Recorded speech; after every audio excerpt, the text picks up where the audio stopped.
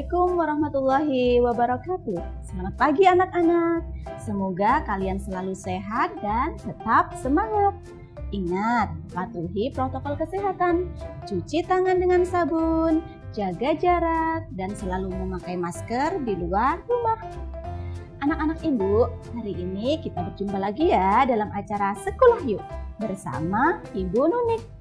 Hari ini kita akan belajar tematik kelas 2. Tema 2 bermain di lingkunganku, subtema 4 bermain di tempat wisata. Sebelum kita memulai pelajaran pada kali ini, kita ter berdoa terlebih dahulu ya. Seperti biasa, ikuti apa yang Ibu ucapkan. Tangan diangkat, kepala ditundukkan. Berdoa, mulai. Berdoa, selesai.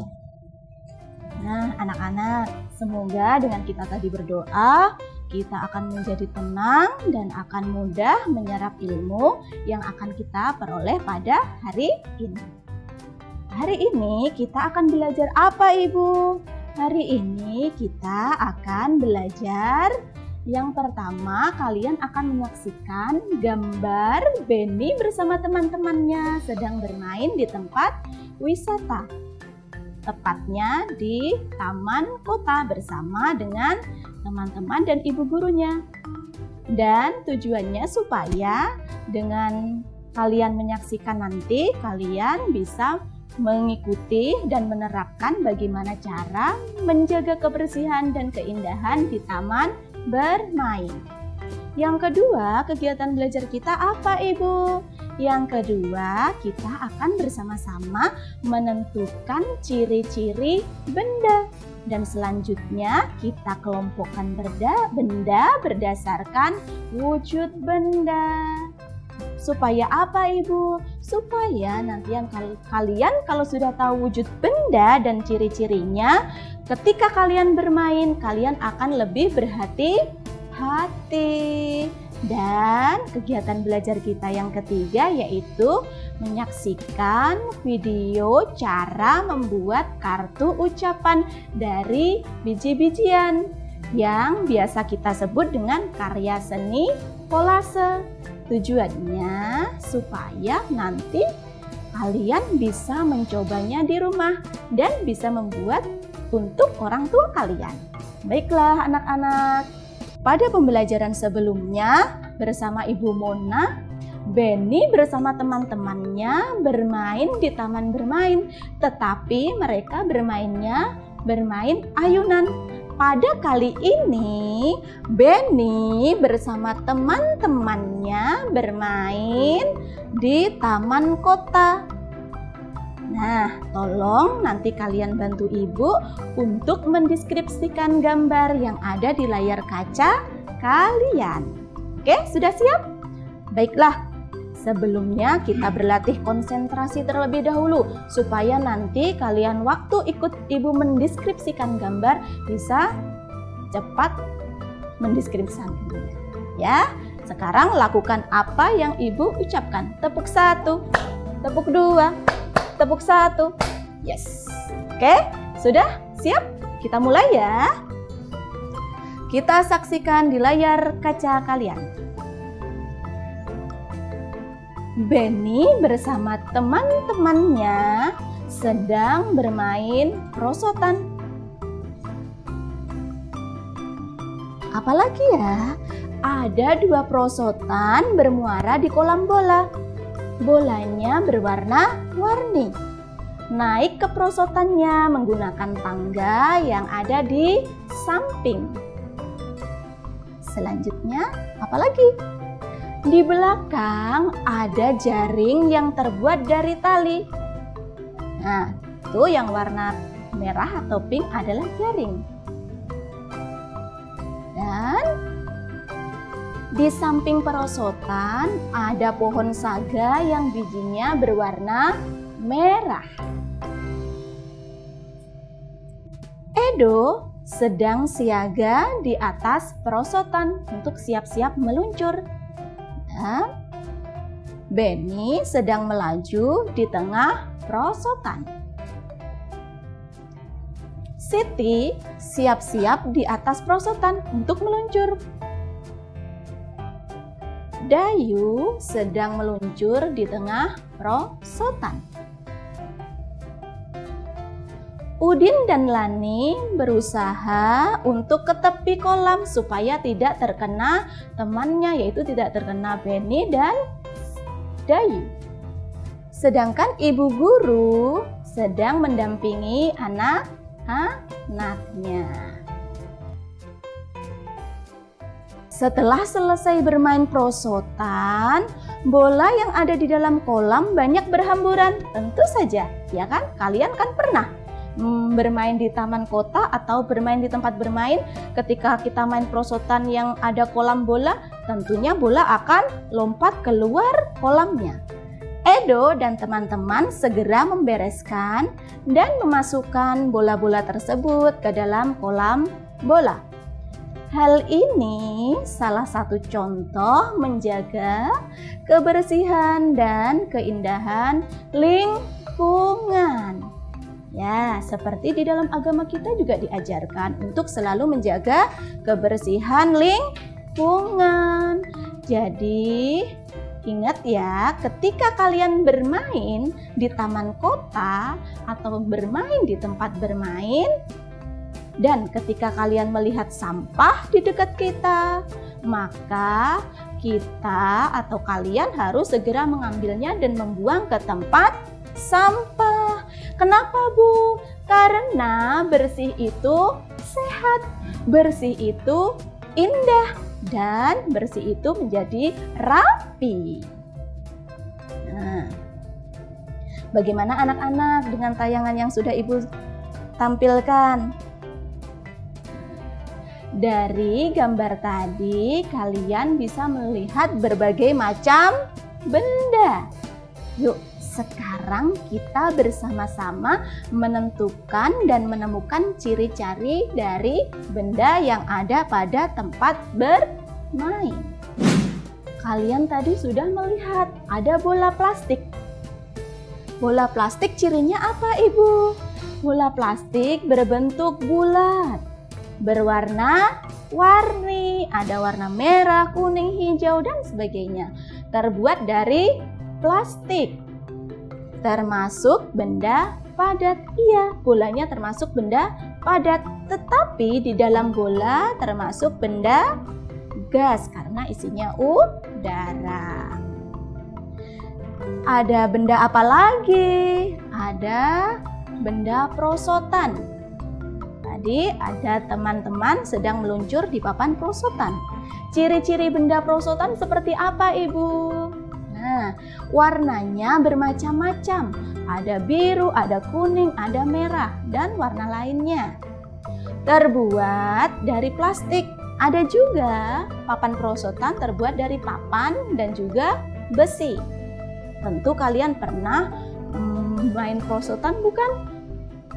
Yang selanjutnya cirinya adalah digunakan untuk bermain dan termasuk benda padat.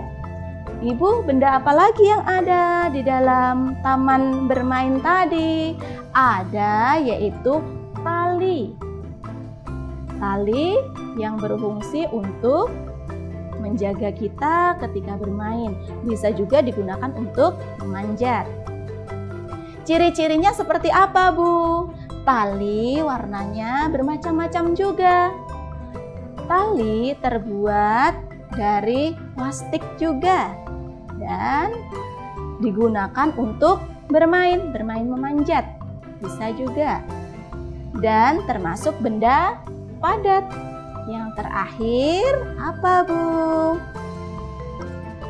Yaitu tangga prosotan. Yang kalian lihat adalah tangganya ya, tangga prosotan. Tangga prosotan berwarna-warni juga, Nak. Terbuat dari besi digunakan untuk memanjat saat kalian akan bermain prosotan. Tangga prosotan termasuk benda padat. Pintar sekali anak ibu. Nah, bagaimana? Tentu kalian pernah menemukan benda-benda tersebut kan? Ibu berharap ketika kalian sudah mengetahui ciri-cirinya, kalian dapat berhati-hati saat bermain di taman bermain. Kenapa, Bu? Ketika kita bermain prosotan yang terbuat dari besi, apabila kita terjatuh atau terbentur akan membuat badan kita menjadi memar. Jadi kalian harus berhati-hati. Kita akan lanjutkan pembelajaran pada kali ini ya. Kita akan melompok, mengelompokkan benda berdasarkan wujudnya. Di layar kaca kalian ada wujud benda padat, ada wujud benda cair, dan ada gambar-gambarnya. Ada gambar bola, ada gambar tempat sampah, botol minum atau airnya ya, dan ada sabun, isinya, isi yang di dalam botol sabun, papan luncur, dan jungkat-jungkit. Tentu kalian pernah menemukan ini di tempat bermain atau di taman kota. Baik, kita kelompokkan bagaimana ya?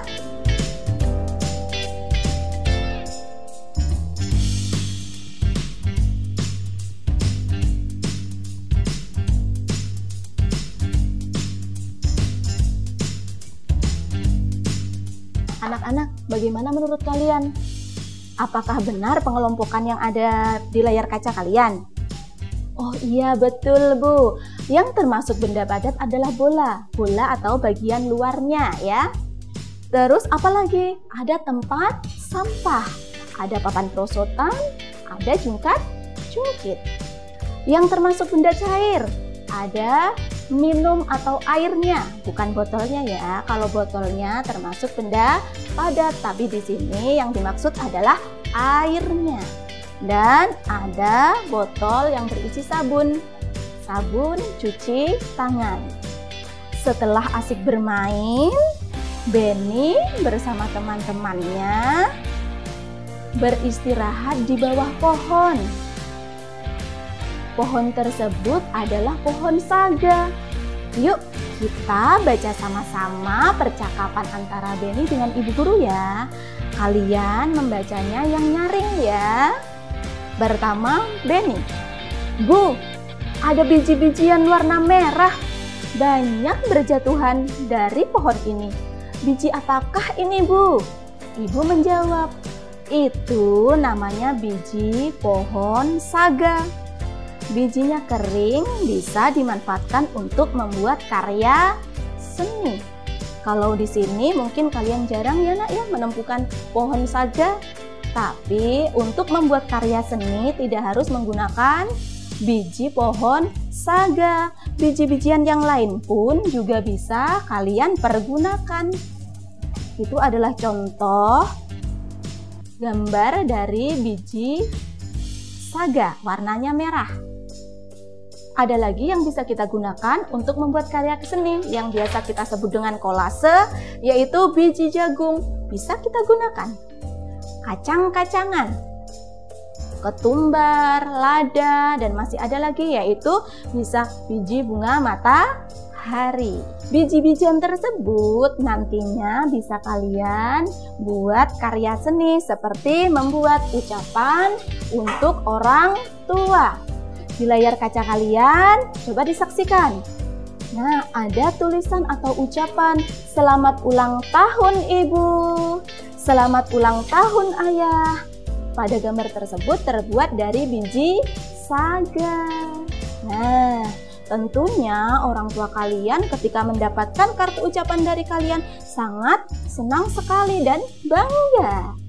Nah, supaya kalian bisa membuat kartu ucapan dari biji-bijian, marilah kita saksikan tayangan video cara membuat kartu ucapan berikut ini.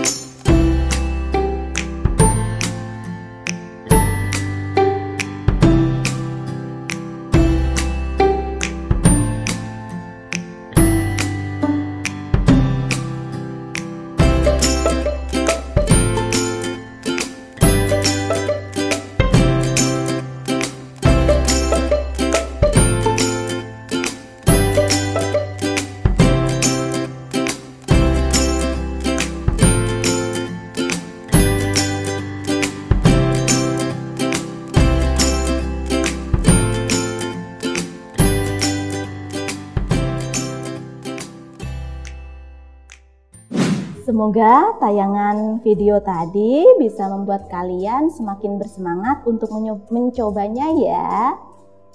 Nah, Ibu mau tanya terlebih dahulu, benda apa saja atau bahan apa saja yang diperlukan untuk membuat kartu ucapan? Apa nak? Iya, kertas atau karton. Pensil, pensil berguna untuk membuat pola atau sketsa tulisan. Apalagi nak? Penggaris untuk memberi garis tepi pada kertas. Selanjutnya, iya biji-bijian dan lem. Ingat ya, lemnya itu lem kayu, bukanlah lem kertas supaya sangat lengket sekali nanti biji-bijinya ke dalam kertasnya. Baiklah, setelah ini kita akan membantu Benny membagi biji saga yang telah mereka peroleh dari taman kota dan kalian boleh menyiapkan kertas dan juga pensilnya untuk membantu Benny menghitung pembagiannya. Mari kita bersama-sama membantu Benny membagi biji saga. Kalian sudah siapkan pensil dan kertasnya? Yuk, perhatikan ya. Biji saga yang akan digunakan untuk membuat karya seni sudah tersedia. Saatnya Benny akan membagikan biji saga tersebut untuk teman-temannya membuat tulisan dan hiasan. 12 dibagi 2 dibagi dengan 3. Bagaimana Ibu cara mengerjakannya? Yang pertama kita hitung yang bilangan yang ada di depan yaitu 12 dibagi 2 sama dengan karena kita belajar pembagian sama dengan pengurangan berulang. Tetapi pengurangannya harus sampai dengan 0. Pertama kita hitung adalah 12 dibagi 2. Caranya hitung pengurangan berulang sampai 0. 12 dikurang 2, 10. Belum 0. 10 dikurang 2, 8. 8 dikurang 2, 6. 6 dikurang 2, 4. Belum sampai 0. 4 dikurang 2, 2. Belum 0 ya. 2 dikurang 2 sama dengan 0. Nah, kalau sudah sampai 0, sekarang kita hitung berapa pengurangannya. Berapa kali kita pengurangannya? Pengurangannya ada berapa kali? Pengurangannya ada 1, 2, 3, 4, 5, 6 kali. Jadi 12 dibagi 2 sama dengan 6. 6 tadi berasal dari mana? Berasal dari pengurangan berulang sebanyak 6 kali mengurangkan. Baiklah, sekarang kita lanjutkan. 6 kita bagi dengan 3. Sama caranya. Dengan menggunakan pengurangan berulang hingga 0. 6 dikurang 3 sama dengan 3. 3 dikurang 3 sama dengan 0. Jadi berapa kali kita mengurangkannya? 2 kali. 6 dibagi 3 sama dengan 2. 2 berasal dari banyaknya kita mengurangkan yaitu dua kali pengurangan. Bagaimana anak-anak? Ya, kita akan belajar lagi supaya kalian lebih memahaminya ya. Ibu beri soal satu lagi. Tolong tetap di depan layar televisi kalian dan tetap menyiapkan pensil dan kertasnya. Soal berikutnya. 15 dibagi 3 dibagi 5 sama dengan berapa? Seperti yang tadi ya. Kita pertama-tama yang kita hitung adalah angka 15 dibagi 3 dengan pengurangan berulang. 15 dikurang 3, 12. 12 dikurang 3, 9. 9 dikurang 3 sama dengan 6 dan 6 dikurang 3 sama dengan 3 belum sampai 0 3 dikurang 3 sama dengan 0. Nah, sudah sama dengan 0, sekarang kita hitung berapa kali kita mengurangkannya. 1, 2, 3, 4, 5 kali kita mengurangkannya. Jadi 15 dibagi 3 sama dengan 5. Selanjutnya kita hitung ya 5 dibagi dengan 5 sama dengan berapa? Kita ulang lagi dengan cara pengurangan berulang. Hanya sekali saja Bu, iya karena 5 dikurang 5 sudah 0, selesai. Jadi berapa kali kita mengurangkannya? Hanya satu kali. 5 dibagi 5 sama dengan 1. Nah, semoga dengan dua soal yang tadi yang sudah kita bahas sama-sama kalian bisa berlatih di rumah. Bu, apa manfaatnya kita bisa melakukan pembagian? Banyak sekali manfaatnya.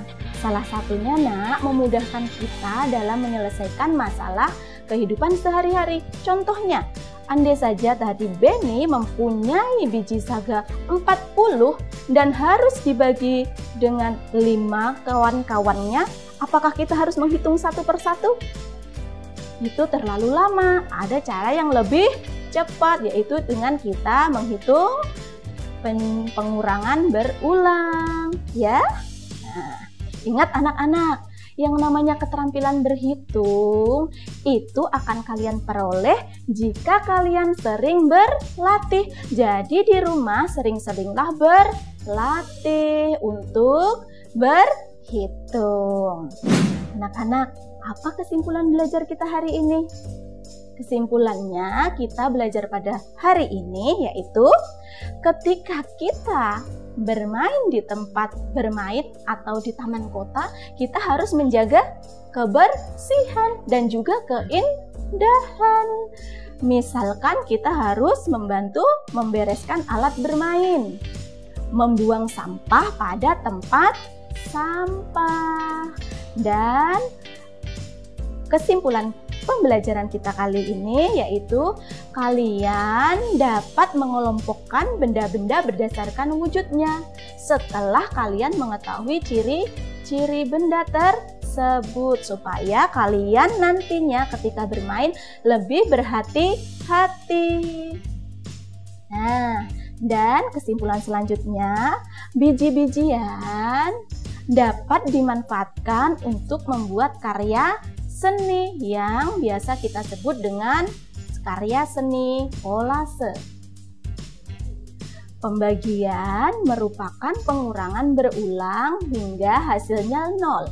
Apabila operasi hitung pembagian tidak kalian pelajari, kalian nanti akan kesusahan atau e, terlalu lama ketika kalian mengerjakan suatu pembagian. Jadi, pembagian itu sebenarnya operasi hitung pembagian itu nak memudahkan kita dalam menyelesaikan masalah di kehidupan kita sehari-hari.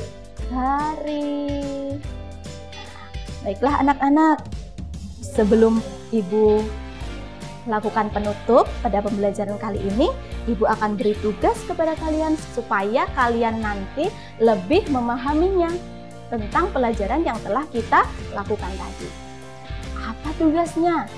Silahkan dicatat di kertas kalian ya. Satu, apa yang dilakukan Edo bersama teman-teman supaya taman bermain prosotan tetap terlihat indah. Yang kedua, tuliskan tiga nama benda cair yang ada di lingkungan taman bermain. Yang ketiga, tentukan nilai dari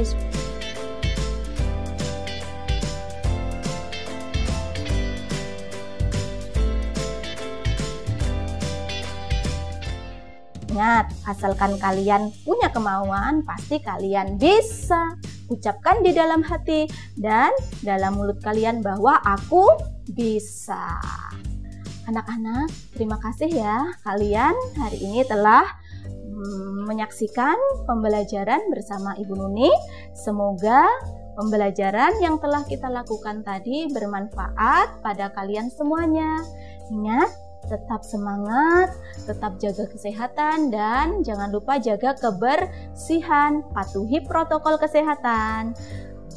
Cuci tangan dengan menggunakan sabun dan air mengalir, jaga jarak, dan memakai masker jika keluar rumah. Sebelum kita akhiri, kita berdoa terlebih dahulu ya. Ikuti apa yang Ibu ucapkan. Tangan diangkat. Kepala ditundukkan. Berdoa mulai. Berdoa selesai.